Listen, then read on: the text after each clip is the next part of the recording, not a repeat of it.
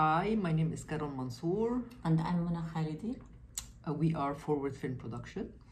Carol and I work together as a team to produce uh, documentary films dealing with issues of human rights and social justice, such as the rights of migrant domestic workers, the rights of refugees, uh, Prostitution, uh, working street children, uh, mental health.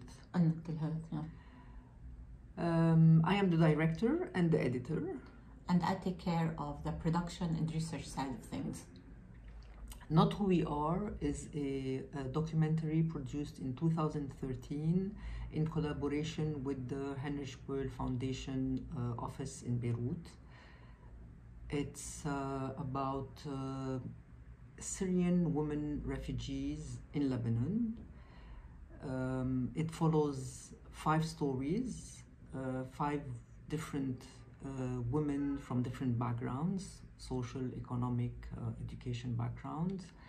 Um, one is a musician, uh, two uh, are uh, live under the tent in the Bekaa. Uh, one is anonymous because uh, I won't tell you why. You will find out uh, when you watch the film. And one is from uh, Palestine, Palestinian origins from Syria.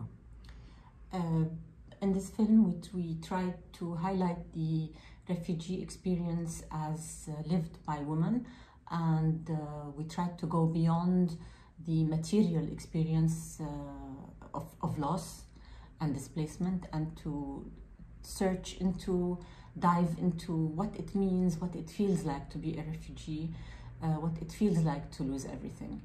You're watching this today, and although this film is seven years old, uh, unfortunately, uh, we think uh, that the, the issues are still relevant. The experience is still very much lived by refugees.